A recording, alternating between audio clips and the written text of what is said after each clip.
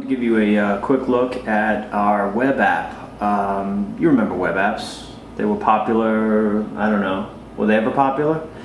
Anyway, we've got a web app. It's actually pretty useful. Um, so let's give you a quick look. Uh, first thing is how to access it. So first thing you do is go Safari and um, let's see, I'm just going to bring up Everything iCafe. Just go to everythingicafe.com and you'll see, um, you know, typical web view will show up here and just press plus, add the home screen and type in whatever you'd like to appear. So we'll just put iCafe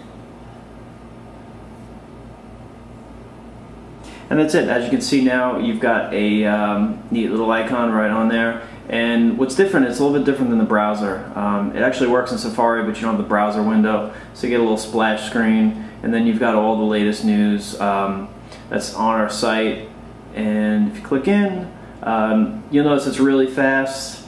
Um, I'm gonna, let's see, I got a review here. Um, should be like a, a, video showing up there. So, you know, if you want, you can watch the video, go into YouTube. But um, let's see if we can click back here. Okay, so we're back in the app. Um, full access to um, retweeting, and actually, if you click here, there's a share and save. So you can actually share these to any of your favorite, um, you know, social sites. You want to share it via email and you can also comment.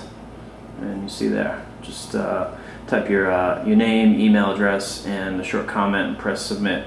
So uh, so that's been it. This is just uh, Christopher Mink for everythingicafe.com giving you a quick look at the Everything iCafe web app. So uh, check it out. Thanks for joining us